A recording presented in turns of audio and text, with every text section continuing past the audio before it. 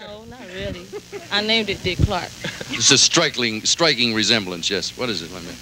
There he is. Uh, it's the ears, especially. If you're going to be a musician, who would inspire you? These guys.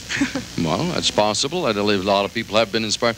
The reason I ask is when you look at their backgrounds and they have usual biographies and stuff, and you read that, and you say, who influenced you to write the kind of music you do? And it's an interesting conglomeration of uh, uh, Lennon and McCartney and Gilbert and Sullivan and uh, Cole Porter and a lot of other people, famous people. Chris Difford and his uh, writing partner, Glenn Tilbrook, are responsible for this group that has been together, I think, for maybe uh, almost 10 years. I'm not sure, but we'll check that. The reason I say they're causing quite a furor, furor is everybody's talking about them.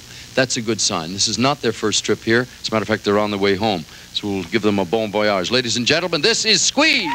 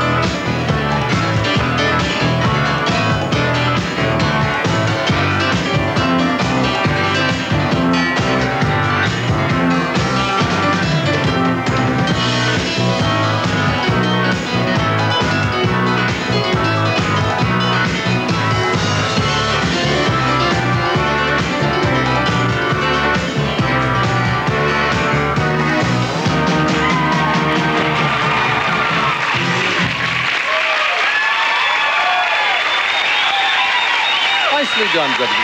Why don't you join me up here? Uh.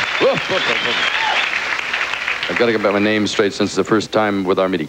Glenn Tilbrook, Chris Difford. Did I do it right? You did it perfectly right. All right, uh, Glenn, before I forget anybody else, since I don't know them, would you introduce me to the keyboard player and then a roundabout? All right, and uh, on the keyboards meet Don Snow, Hello, Don. Nice to have you with us, sir. Gilson Lavis on the skins, Hello, welcome. Uh, Dick, have you met? Uh, this is John Bentley. John and I met earlier. You got here before everybody else. Do you do you, uh, fly, drive? How do you travel? Uh, whatever's most convenient at the time. We've got a bus on the road. We, we drive most of the time. How many tours have you made in the United States now? 14 American tours, and who'd believe it? You know. Are the distances killing here? I mean, we have so much more ground to cover than you do at home. Yeah, we go from uh, John O'Groats to Land's End twice a day here, you know. It's a It, way. it, every English group I've ever said that is one of the major problems, the travel. Now you're going home. Tonight is the night? Tonight, yeah, flying it. Where, where is home? Does everybody live in the same general area? We'll live around London, yeah. What will be the one thing that you'll do for the rest of the summer now that you have time off? Uh, probably get, visit a lot of pubs in Britain and have a few pints while we're at home. Now, you told, he told me he was going to write. Do you write when you have time off? Oh, yeah, that's our next project to write and go back in the studio and then come out and do another American tour. I was a little uh, distracted over there because I couldn't remember when it said you got together. How many years ago was it? Well, Glenn and I have been writing songs for 10 years, and the band, in its present form, has been together for about five years. Why is it necessary to get off the road in order to create and to write? I mean, you create when you perform, but can't you write as you drive around or fly? Not really, because there's too many distractions, like people knocking at your door or the phone ringing. It just gets boring. Besides, there's always a temptation to go to a local bar in a hotel, you know. He's, he's really hung up with the pubs and the bars. Did you notice? He's looking forward to getting home. I hope you have a wonderful stay at home. Your 15th tour will, uh, in this country is liable to happen when? Um, there's a possibility of it happening in October, but it's not definite yet. I must tell you from everybody who uh, has seen your work that it's, it's well worth the trip to see you. Thank you so much. Thanks Good trip home. us on the Show. Thanks very much. It's a delight. Now, what's the next song I should find out? I've returned. There you go. We'll look for Ladies and gentlemen, squeeze.